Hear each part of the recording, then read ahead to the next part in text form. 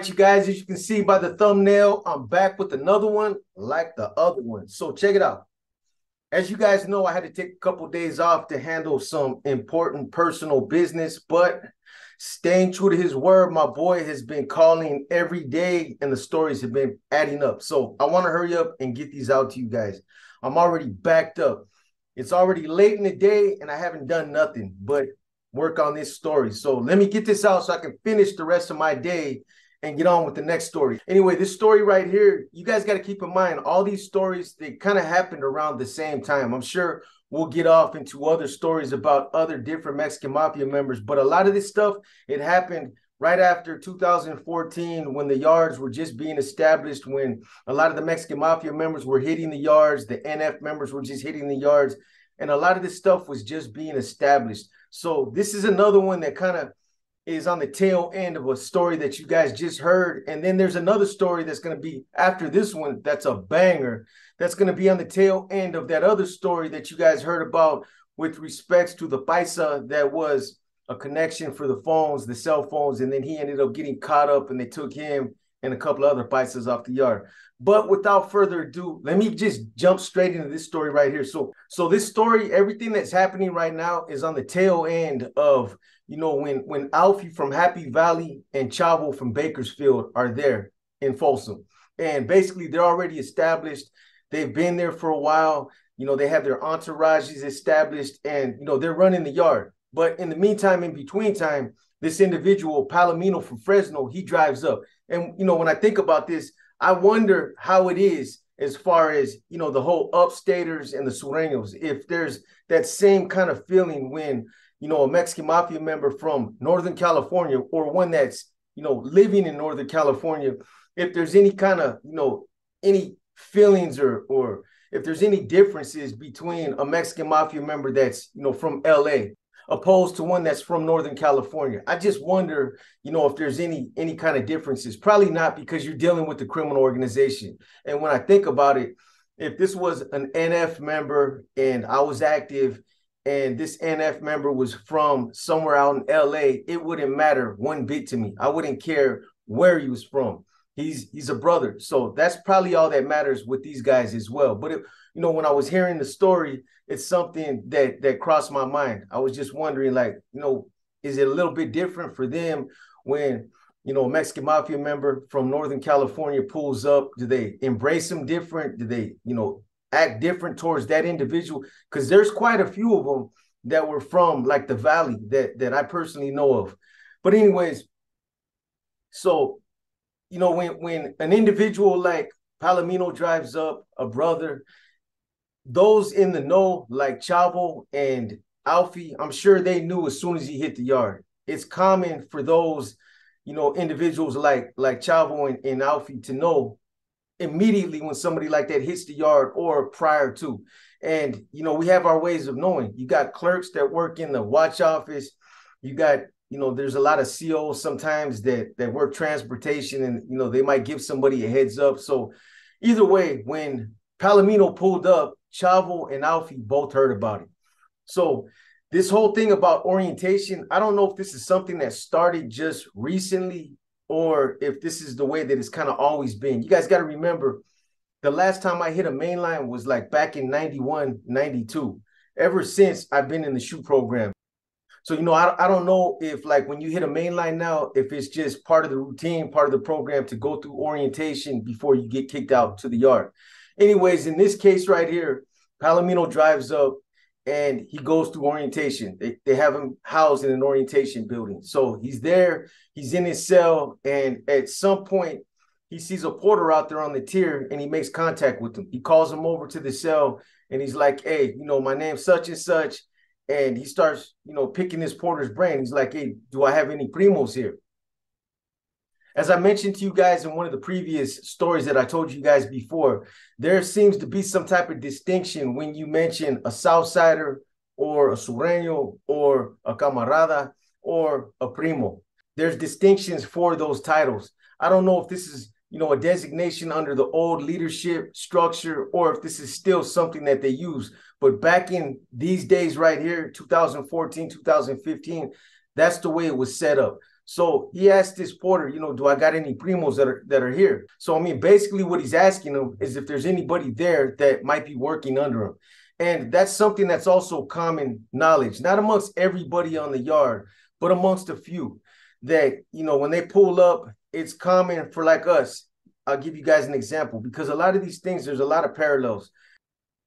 So if I pull up and you know I ask if there's anybody there that might be there from the city, if there's anybody there from the Bay Area that might be you know functioning within my my NF Street Regiment out on the streets, it, it's common knowledge to know amongst the fellas like, hey, this individual was functioning out there under B, or this guy was functioning under you know Bubba from Salinas, or this guy was functioning under you know this individual from San Jose. So it's the same thing so he's asking him if there's anybody there that you know is was part of his crew.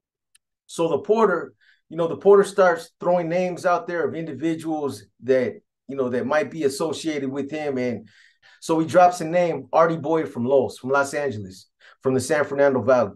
So as soon as he says that, the old man's like, Artie Boy, is he a youngster? Is he an older dude? And the porter tells him, like, you know, he's a little bit older. He's been here for a minute. So the old man's like, okay, that's got to be him. So, you know, although Artie Boy might be a common name out there in, you know, Southern California, it's not that common. So the old man hears, you know, the name Artie Boy from Los. And, you know, he figures it's got to be the same individual that he was working with out there. He tells the porter, he's like, check this out, bro. He's like, I'm going to strike up this kite. What I need you to do is give it to Artie Boy and tell him it's for me, Palomino tell them to go ahead and get at, you know, to, to read it, to get back at me, and just let them know that I'm here and that I'll get with them as soon as I come off orientation. So it's not that hard to figure out. The porter, he tells him, okay, he goes, go ahead and strike it up. I'll be back. And he smashes off, he pushes his broom down the tier, does whatever he's doing. Anyways, when Palomino's done striking up the kite, he calls the porter back over and he tells him, I got this ready for Artie Boy. Go ahead and, and give it to him and tell him to get back at me ASAP as soon as he can. So the porter, he takes the kite, he goes out to the yard, strolls the yard, he locates Artie Boy, and he tells him, and Artie Boy is somebody that he knew, was somebody that he personally associated with on the yard. It wasn't just another Sureño out there from another building that he heard of. This was somebody he actually fucked with on the yard. So you know, he goes out there, he runs into Artie Boy, and he's like, "Hey, he's like the old man told me to give this to you, Pete." And you know, he said to get at him as soon as you, soon as you get a chance, go ahead, check it out, read it, and then get back at him. And Artie Boy's like, "The old man, Pete, who you talking about?" He's like, "You talking about Palomino?" And the porter says, "Yeah, yeah, Palomino from Fresno, the old man." And Artie Boy goes, "Oh shit, he's here." He's here. He pulled up, and, and the porter tells him, "Yeah, you know, he's here, bro. He's on orientation he'll probably be on orientation for a couple of days. But you know, he said to give this to you and to go ahead and get back at him. So whenever you whenever you're ready, bro, you know, let me know. I'm over there with him. I'll make sure that he gets it. And again, you guys got to remember, this all happened around the same time everybody was getting kicked out of the SHU program. There was like the first wave of you know, a, lot of the members came out on the first wave, and then there was a second wave. Palomino was one of the ones that came out on the second wave. So by the time he got out there, a lot of the Mexican Mafia members that were already out there on the yards were already established. So he pulls up, and you know, this is this is the beginning of him getting himself established. So after Artie Boy read the kite, he goes back out to the yard and he gets with the porter, the one that gave him the kite, and he tells him, he's like, "Look, check this out, bro." He's like, just go ahead and give the old man a verbal, a verbal confirmation that I got that, that I'll look into that, that I'll take care of that as soon as possible. As soon as I find out what he was asking me in his kite, I'll get right back at him. Tell him, you know, for now, I just want to go ahead and just give him a verbal. I don't want to write nothing down that will get me caught up. You know, I'm not going to deal with the whole, you know, taking a chance of, of my kite getting intercepted and you know being the end of my career. So he was just playing it safe, and that's common. A lot of the times, you know, guys are skeptical about writing anything down because kites have a way of falling into the wrong hands or people, you know, somehow losing them or them getting intercepted somehow. So, you know, Artie Boy was was security conscious, obviously. He was like, you know what, just give him a verbal, tell him I'll get back at him and I'll get with him as soon as he gets off orientation. So that's what the porter did. He basically he goes back to the building. He goes up to Palomino's door and he tells him, "Hey, look, I touched base with Artie Boy. I gave him that one time, and you know he said to tell you it's a TD and all that good stuff. He got it. He's in receipt of it, and that he'll get with you when you get off orientation. That he's gonna look into the things that you asked him in in your one time, and that as soon as he finds out, he'll go ahead and get with you. So he's on top of he's on top of whatever you asked him. So the old man's like, cool. He's like, cool. You know, he knows he's only going to be there on orientation for a couple of days, a week at the most. So he tells the porter from that point on, he's like, you know what? From this point on, I'm not here no more. Don't tell nobody else what's going on. Nobody else needs to know I'm here. I'll get with Chavo and Alfie when I come out, my brothers. They already know what time it is. But from this point on, you know, don't mention that I'm here to anybody. Nobody needs to know what's going on. So, you know, for whatever reason, Palomino wanted to stay under the radar. He didn't want nobody else in the building to know that he was there, that he was a brother. He just wanted to keep it under wraps. And obviously, he had his reasons. So, like I told you guys, the old man was back there on orientation for about four or five days. However long it was, Artie Boy apparently had his way of finding out exactly what day the old man was set to hit the yard. Again, these this is common, you know, for certain individuals that are out there, you know, that are active, that are out there involved in the politics to know these things. Again, it could be somebody working in the watch office, could be a, a clerk or something like that. Whatever, how, however, he found out, he knew what day they were running classification and what day that you know Palomino was was due to get kicked out on the yard because the day he was set to get kicked out to the yard, the porter seen Artie Boy posted up in front of the building, the orientation building, with a big bag of Zuzus and Wham Whams. He had an ice cream in one hand. He had a soda in the other hand. Probably had a frau on his ear. You know, he was ready to to hook the old man up when he came out. You know, he was he was ready to embrace him and give him the red carpet treatment. So the old man comes out. He finally comes out at some point, and you know the porter's watching him from across the yard so as soon as the old man came out, the porter's watching from across the yard. And the first thing Palomino does is give Artie Boy a big bear hug. He gives him a big bear hug. Artie Boy hands him the ice cream cone, gives him his soda, and hands him the bag of Zuzus and Wham Whams. Anyways, that was that. Now Palomino's out there on the yard, and you know it's time to help him get himself established he's he's got a lot of different things to do out there. Apparently, when they get out there, one of the first things that they do, as you guys have been hearing in some of these other stories, one of the first things that these guys do is start to build their entourage, start to establish the entourage. And I don't know how they do it.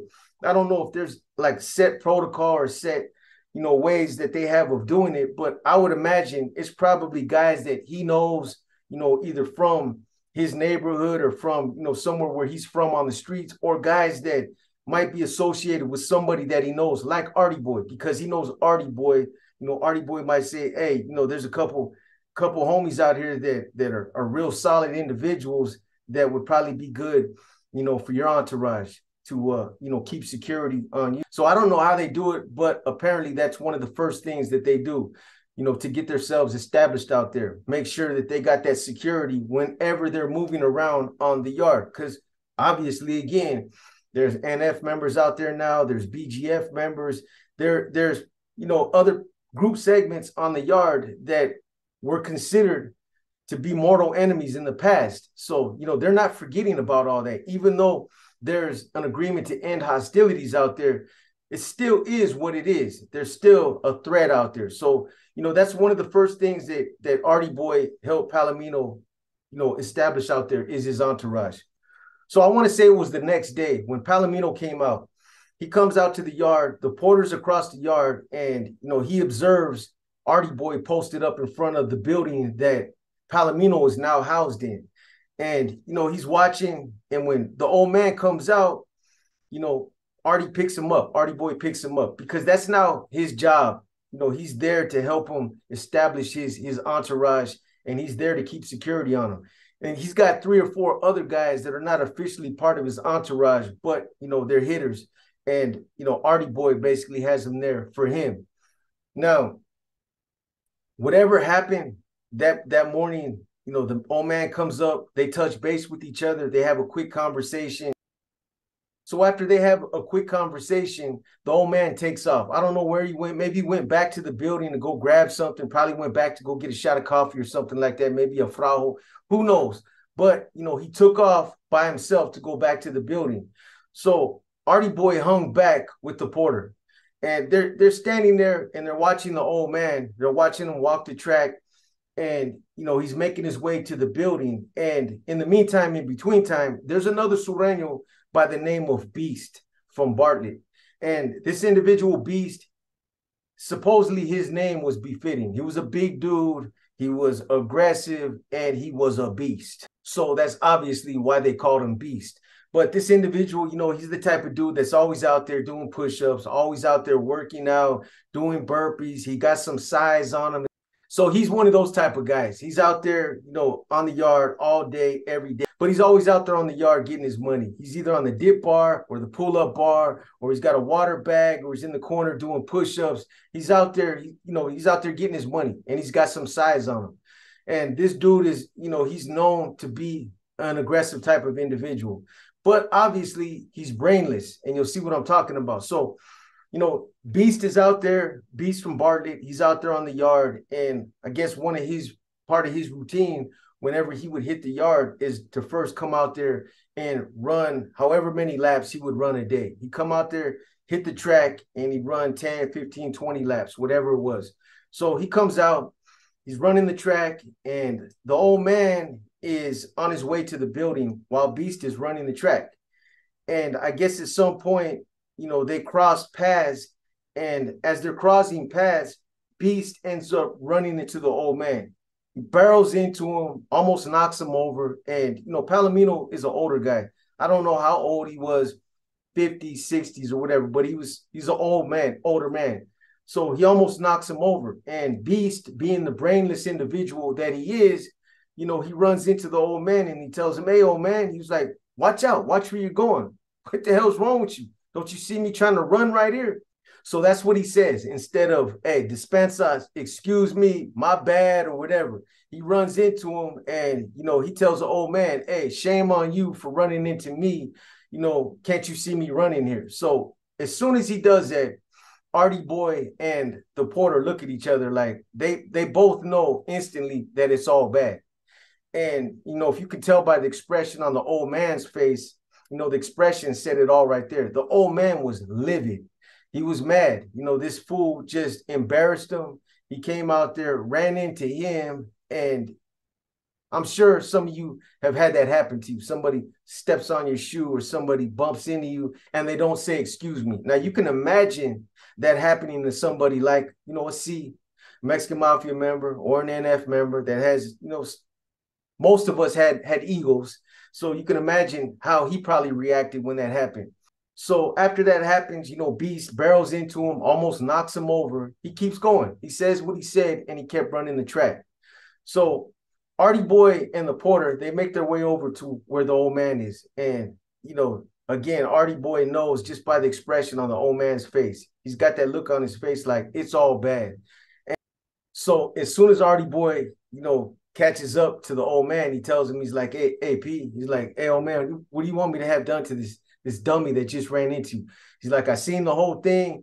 He's like, whatever you want me to, you know, whatever you want done, it's all good. So again, you know, by the expression on the old man's face, it was already clear, you know, to go ahead and deal with that individual. You know, he fucked up. He should have said, excuse me, but he didn't. And, you know, one could probably make an argument. Is it Beast's fault for not knowing who was there for not being conscious of who's around him, especially an older dude that might have just pulled up? Is it his fault for being, you know, careless with that?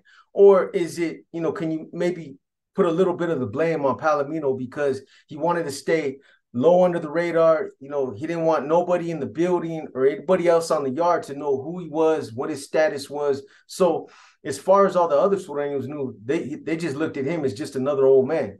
Nobody had any idea, including Beast, of who he was, what his status was, or anything like that. So that's probably why Beast thought that, you know, well, no doubt, that's why Beast thought that he could just run into him and blatantly just disrespect him like that because he thought he was just another Sureño.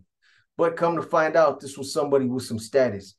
However, it happened, it didn't matter. At the end of the day, Beast did what he did, and he's already in trouble. So, whatever happened from that point on, Beast said what he said, he did what he did, and they already started putting, you know, putting things in motion to get him off the yard. And he was oblivious to this. He had no idea. He didn't know that he had just disrespected somebody with some status. He was just being Beast. That's the kind of individual he probably was. With a name like Beast and the way he was, you know, acting on the yard, being aggressive, that's probably, you know, the way that he was, thinking that he could just, you know, run into somebody or because he had a little bit of size on him, that, you know, he could do shit like that and get away with it. But this was the wrong guy to run into, obviously. And it's things like this it's the small things like this that always escalate and lead to something bigger. In prison, it's something as small as stepping on somebody's shoe, running into somebody, you know, not saying excuse me, doing one of the, you know, doing something as small as that, that, you know, might be interpreted as disrespect by somebody else can end up being the reason why you get stabbed and, you know, the reason why you get your head taken off but like I said, Beast was oblivious to it. It, it happened and he continued on with with his day like nothing had happened. You know, again, on a personal note, sometimes, you know, me myself just thinking back on personal experiences, there's reasons why I would pull up to a prison like that and I would want to fly under the radar because there might be something going on. There might be something that I'm looking into. I might not want somebody to know that I'm there on the yard, but you know, there comes there's there's downfalls that come with that, and this is one of them. Like I said, whenever you know an NF member or Mexican Mafia member hit the yard, the yard starts buzzing. People want to know who he is, where he's at, where he's from, what he looks like, all that good stuff, and you know the fact that this one situation right here, the way that it happened, where Palomino didn't want it announced on the yard, you know, of who he was or or what his status was, obviously it ended up having a, a, detrimental effect on Beast. So when Artie Boy had the conversation with the old man, the old man told him, "Hey, you better take care of that." He basically told him to take care of it. Go ahead and have that dude whacked. I mean, in so many words, you need to take care of it. That's what he was telling him. So what Artie Boy does is, you know, the porter, he's somebody that, like I said, he's somebody that associated with with Artie Boy, you know, on a, on a daily basis. But Artie Boy, from the time he talked to the old man, he walks back over to the porter and he tells him, "Hey, check it out. I got this man. Fall back. I need you to fall back. I'm gonna go jam this fool up right now. If he gets crazy, I'm gonna whack him." Apparently, Artie Boy had a bone crusher on him, a nasty bone crusher. And you know, even though he told the porter to fall back, the porter fell back but he stayed in close proximity to where you know Artie Boy jammed up Beast. Because what happened was is as Beast continued to run the track, Artie Boy walked across the field and you know stopped in an area where he was basically going to shortstop Beast when he came around the track. So as Beast runs around the track and he gets closer, Artie Boy walks out and he puts his hand up and he tells him, "Hey, stop." So Beast not knowing, I mean, these two from what what I gathered, they really didn't have a lot of interaction out on the yard. So when Beast seen Artie Boy walk out in front of him, he kind of stopped it aggressively and was like, What's up, bro? And, and Artie Boy tells him, he's like, Hey, check this out, bro. He's like, that old man that you ran into, you know, the same one that you ran into, the one you disrespected and didn't say, excuse me to. And so, you know, Beast being the type of individual that he was described as being, being the aggressive type of individual he was, as soon as Artie Boy said that, he was like, and so what? So when he said that, Artie Boy tells him, and so what? Huh? He's like, well, check this out.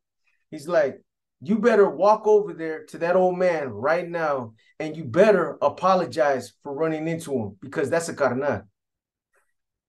And as soon as he said that, Beast just had that look on his face like he knew he done fucked up. He's like, you know you done fucked up, right? I mean, you know you done fucked up, right? so Beast realizes that he fucked up. Well, how come I wasn't told that this, you know, he's probably thinking, how come I wasn't told that that was a C? You know, usually when a C hits the yard, you know, we're told about these these types of things. You know, how come I wasn't made abreast of that? But either way, he knows he's in a in a bad predicament right now.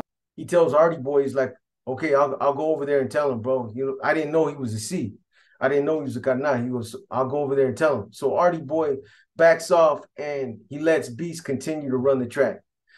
And Artie Boy apparently he walks back over to where the porter's at, and they kind of just hang back and watch Beast run over to where the old man's at. So he runs up, and as he's running up towards the old man, what do you think he does? You know, instead of Beast, you know, going over there, running over there, and then stopping when he got towards the old man and and you know walking up to him and telling him, "Hey, sir, you know, Spencer inter- introducing himself. My name is Beast from Bartlett, and you know, I just ran into you a few minutes ago. You know, I was I was kind of messing around with you. I didn't mean no disrespect or anything like that. You know, Spencer, my bad, anything like that. What he does is he continues to run. As the old man's walking, he continues to run, and when he gets close to him, he grabs him by the back of his shirt, by both by both shoulders, and he kind of spins him around and this is Beast's way of playing with this guy. This is why I say this dude must have been a brainless individual. He kind of spins the old man around, playing with him, you know, as a way of kind of like just joking with him. And again, this is an old man. You know, this guy can barely walk a straight line. He ends up almost, you know, eating it. This guy had to spin him and, and catch him. But, you know, he spins him around and he tells him, he's like, hey, you know, Spencer, you know, for running into you or whatever. And he continues to run off. It was like he just did it in real fast as he was running by. Grabbed him, spun him around, and then kept on running. What do you think happened from that point on? I can imagine. I mean, I'm as as I'm telling the story, I can picture the visuals. The old man is probably like he's probably in a state of disbelief for one, but now he's really pissed off. Now he's probably even pissed off at Artie Boy. Like, bro, I don't know what you told this idiot, but did you see what this dude just did? He ran up and damn near threw me on, on my face. So Artie Boy and the porter, as soon as Beast did that, they look at each other like, you fucking gotta be kidding me. Are you serious? Like they, they can't believe what they just seen. So right away, Artie Boy starts walking over to Palomino. He tells old man, he's like, hey, hey, old man, he's like, uh, you don't gotta say nothing else. I'm already taking steps to get this dude off the yard. We're gonna we're gonna whack his ass right now. So the old man was like, Yeah, man, you better take care of it. You know, this dude must be crazy. This dude, you know, what do you guys got? J Cats running around out here? Is that dude on medication? What makes that dude think it's okay to run up and grab me by my shirt and almost face plant me on the ground? He's like, that dude's fucking crazy. I don't want him on the yard another day. So meanwhile, Chavo and Alfie, they hit the yard. So while all this was happening, they were actually on their way to go talk to Palomino with their entourages.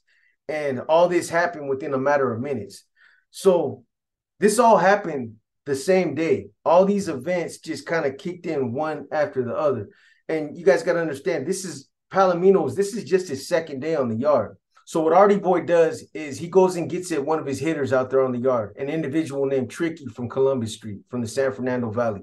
He gets it Tricky and another guy. He couldn't remember the other guy's name, but he gets at these two individuals, and they got two of the biggest bone crushers out there on the yard. So he tells Tricky, he's like, check this out. This individual that's running the track right there, he points out Beast, and he's like, you know, Beast is known. He's somebody that that Tricky knew on the yard He's seen him out there before. So he tells Trick, he's like, check this out. This is what we're gonna do. He's like, you see that individual right there? He pointed Beast out. And you know, Tricky had he'd been on the yard for a while. He knew who Beast was. He had seen him out there. Beast, like I said, was a big dude. He stood out. But he told Tricky, he's like, so this is what we're gonna do. We're gonna let him run a couple more laps and we're gonna let him get nice and tired, and then we're gonna whack his punk ass. He just disrespected one of the C's. So Tricky and this other Sureño, they're ready to go. They got two of the biggest bone crushers on the yard. And they post up by a building that's kind of close to where the track is, because that's where they're gonna get him in that area right there. They, they, you know, they had it all mapped out. As soon as he gets by wherever was the two building or the one building at the far end of the of the of the field, we're gonna hit him right there. You know, two squads. So what they did was Beast being a big dude, being a good sized dude that he was, you know, they anticipated him fighting back. They thought that, you know, he wasn't the type of dude that wasn't going to go down easy. They felt like they needed to put four guys on them. Tricky and this other guy. And then they had another two man crew that were supposed to, you know, kick in as soon as Tricky and the other guy got on them. So, you know, they're out there. Beast is running the track. He's oblivious to everything that's going on. And, you know, he runs a couple more couple more laps and you know it's go time. Hardy Boy gives the go ahead to Tricky and his and his boy. And as soon as Beast comes around the corner, they get on him. Boom, bah, bah, bah. they start hitting him, right? they start hitting him with with these bone crushers, and, and they're they're going in on him good. And you know, as anticipated, Beast starts fighting back. He, you know, he squares up with them, and I don't know if he didn't see the pedazos that they had, but he starts fighting back. You don't try to take off, you don't run. He stood up and he's fighting back. Well, as they're going at this dude, so this guy that so the guy that's with Tricky, you know, initially they both started whacking this dude, but at some point he dives at Beast's feet and you know he locks on, he latches on to his feet, probably trying to take him down. And eventually he does take him down. So now they're on him on the ground. This guy's got his feet. Tricky starts hitting him, and then the other two come up and start whacking him. So you got three hitters that are whacking Beast now. Well, in the course of stabbing Beast, one of them ended up stabbing Tricky in the back of the neck. It was an accident, but you know, I can imagine that happening. You know, being in those situations or being in a similar situation like that myself, when you got bodies flying around and you're stabbing, you know, people are stabbing people and and you know, it's it's it gets chaotic like that. A lot of the times people will get you'll catch friendly fire. That's what happens. You know, you, you're just stabbing anything anything that moves and apparently, you know, one of them ended up trying to stab Beast and by accident ended up catching Tricky in the back of the neck. You know, at first, nobody thought it was really bad. They just thought that, you know, Tricky probably got grazed or something like that. But, you know, after they after they get on Beast, you know, they hit him, they hit him pretty good. They almost kill him. At some point, you know, they lay the yard down. These guys all prone out. They come in, they cuff them all up and they take everybody that you know the guys that they thought were the hitters they take them first. They end up life flighting beast out because he was in bad shape. He ended up get, having a lung puncture and you know he had some other holes in him but he ended up getting life flighted out. That's when they also realized that the one that tricky caught to the back of the neck was a lot more severe than they initially thought because they also ended up life flighting tricky out as well. So you know, they're in the hospital and come to find out later when Tricky ends up coming back out, or, you know, however they found out, whether, you know, Tricky was in the hospital and somebody tapped in with his family, with his girl, because everybody's kind of tied in with each other and they have their way of making contact with family or with you know their homies in situations like this when they end up in the hole. They have ways of contacting you know somebody else that they know and that's how you know information is, is facilitated. So that's when they found out that tricky was paralyzed from the neck down on the whole left side of his body. Apparently you know he must have come back out to the yard or you know they seen him later at some point later. And apparently he was walking with one of those you know it's like a it's not a crutch but it's like a cane that has a brace that goes around your forearm. And you know the way that it was described no disrespect to to Tricky, but the way it was described, him as walking, it was like he walked like a penguin, almost like somebody with polio or something like that. That's how bad it was. The whole left side of his body was paralyzed. So, I mean, here you have a situation where, you know, the first thing I think about is, you know, a situation like when Palomino drove up and he didn't want everybody else to know, you know, who he was on the yard and and maybe it was for reasons of security. I'm I'm sure he obviously had his own reasons, but you know, in a situation like that, this is what happens. But at the same time, it just goes to show that you know, prison is a different environment. You know, you can't bump into somebody or step on somebody's shoe or say something disrespectful and not say excuse me or look at somebody in an aggressive way and think that there's not going to be some kind of repercussion. You know, prison, if they play by a different set of rules in there, that might not mean nothing on the streets. Somebody, you know, you might bump into somebody on the streets, you might step on somebody's shoe, or you might look at them crazy and they'll just look at you like you are crazy and just keep on walking. But in prison, respect is everything. And when you do something like that, the, the intended victim or the non-intended victim feels like they have to step up and do something. You know, their reputation is on the line, their respect is on the line. It goes to the extremes, like this situation right here. Somebody ended up getting stabbed. This right here ended up with two people getting stabbed. One ended up getting paralyzed, and that was by friendly fire, or like I said, collateral damage. So, you know, that's the first thing I think about. You know, the second thing I think about is the mentality that Beast had. That's that bully mentality, you know, going around running into people, acting like you can disrespect people and like nothing's gonna happen to you because you got a little bit of size on you and maybe you look like an intimidating dude. People don't care about that shit. You know what I'm saying? Especially in prison. Again, respect is everything in prison, and people will die. They will die trying to get their respect if that's what it takes. Because if you allow somebody to disrespect you, you allow somebody to bump into you, you allow somebody to step on your shoe, or you allow somebody to, feel like they can come at you like that and there's no repercussions, then they're going to keep doing it and they're going to keep pushing until, you know, they can't push no more. So again, this story right here, you know, there's a lot of different ways you can look at it, but but whenever you're dealing with Mexican mafia members, Nuestra Familia members, these guys have egos.